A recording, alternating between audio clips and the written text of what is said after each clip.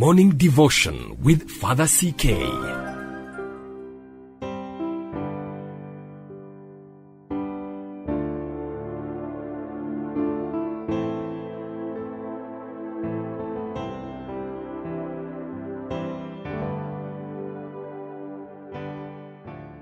In the name of the Father, and of the Son, and of the Holy Spirit, Amen.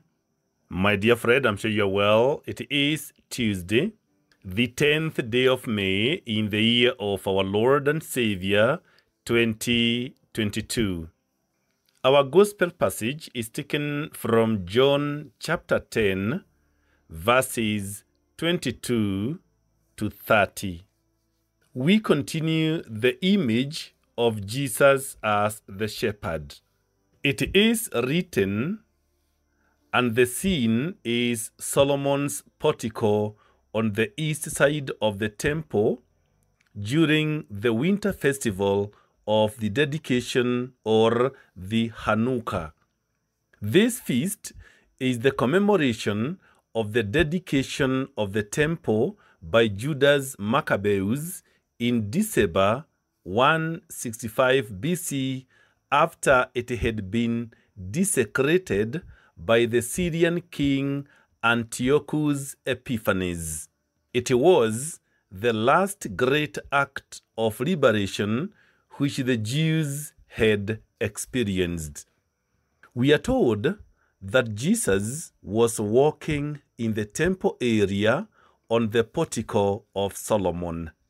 This was a roofed in structure not unlike the stoa of the Greeks. It was commonly believed to date back to the time of Solomon, but this was not the case. Again, Jesus is questioned very directly about his true identity. And they ask, If you are really the Messiah, tell us so in plain words. The question indicates that they had understood the meaning behind many of the things he said and did. On the other hand, it was not a question that could simply be answered with a yes or no because of the many divergent ideas and expectations concerning the Messiah which were current at the time. And certainly, none of them corresponded to the kind of Messiah that Jesus would turn out to be.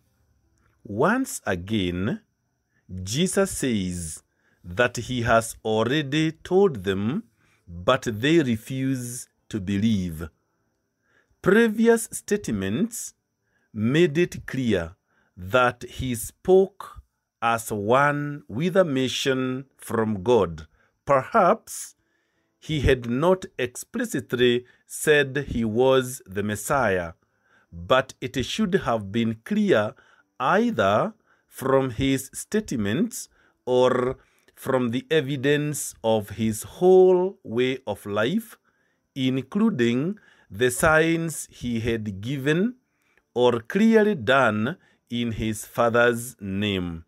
The works he has done are a consistent testimony of his true origins, he says. But you refuse to believe because you are not my sheep. He then lists the characteristics of true sheep or followers. One, they hear my voice.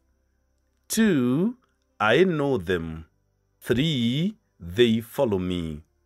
And as we have said elsewhere, to hear in the gospel means one, to listen, two, to understand, three, to assimilate fully into one's own thinking, and four, to carry out what one hears. To these disciples, Jesus gives eternal life. The security of the sheep is in the power of the shepherd, and no one will snatch them from his hand. And that is because they have been given to him by the Father, whose power is greater than any enemy. Finally, in a clear and unequivocal answer to their original charge, he tells his questioners, The Father and I are one. The power that the Son has is the same as the Father's.